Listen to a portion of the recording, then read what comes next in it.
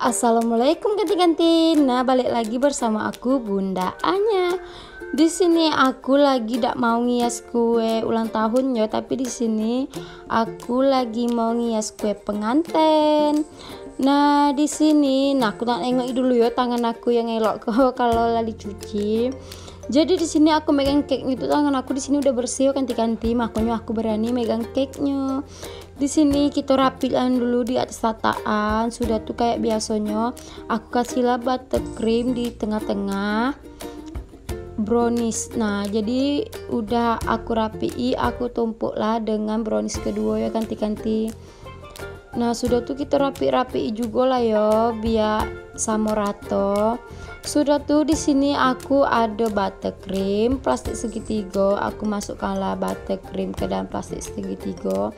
Biar lebih mudah aku tuh ngasih sekeliling kue dengan buttercream nah di sini aku ratoilah ngasih buttercreamnya tuh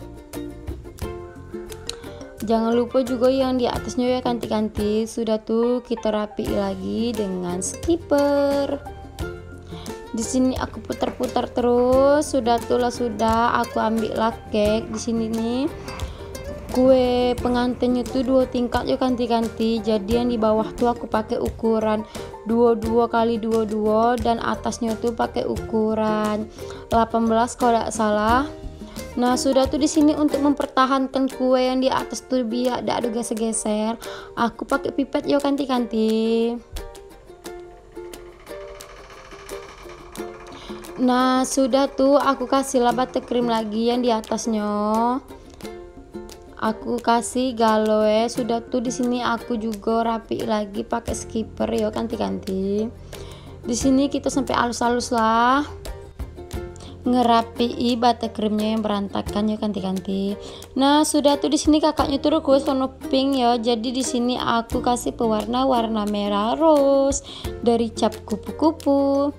Nah di sini rupanya tutupnya tuh jatuh jadi tuh ya sompol kayak itulah jadi tuh ya kebanyakan uangnya tapi memang udah takarannya segitu jadi di sini aku aduk-aduk lah lah nyongol lagi.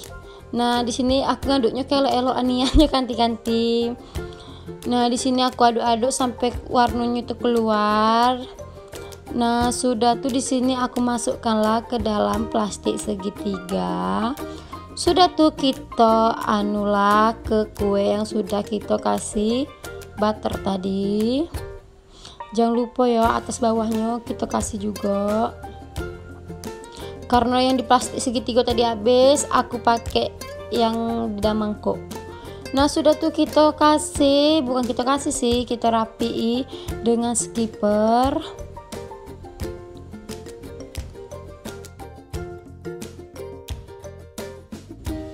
Nah, jadi tuh kayak gini lah ya kanti-kanti.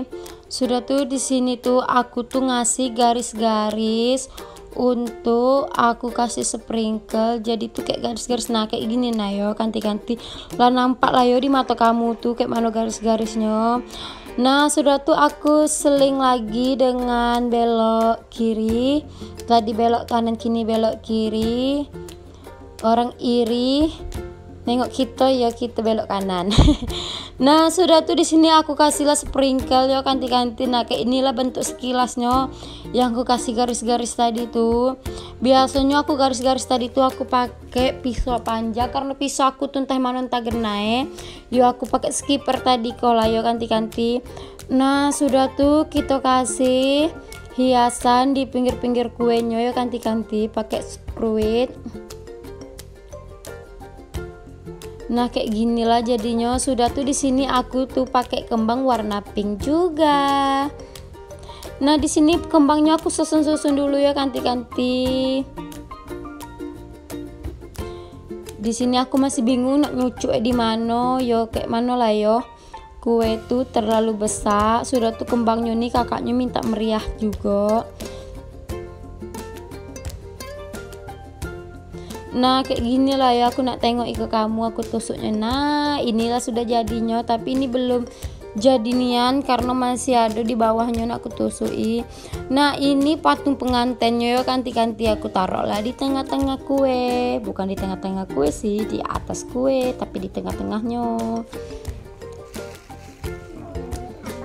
Nah, di sini di atasnya juga aku kasih buttercream ya kanti-kanti. Nah, kayak ginilah penampakan kue kita hari ini. Kayak mana menurut kalian? Nah, ini udah di akhir video ya kanti-kanti. See you, bye-bye.